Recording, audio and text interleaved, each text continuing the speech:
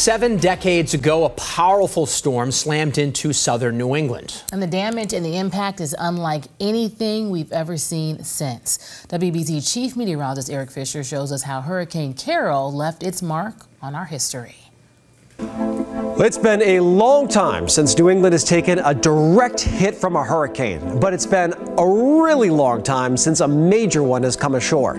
That last happened 70 years ago with the twin strikes of Carol and Edna.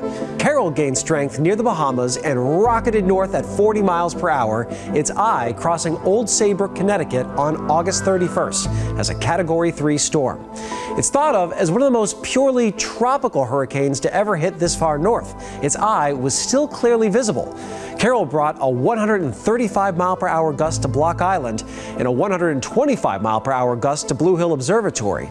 And that wind brought extreme damage.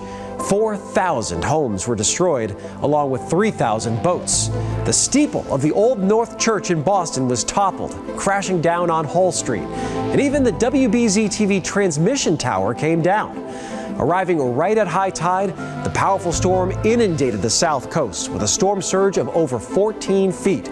Well, waves and winds, they made Carol the costliest hurricane on record in the U.S. at the time, and it became the first hurricane name to ever be retired.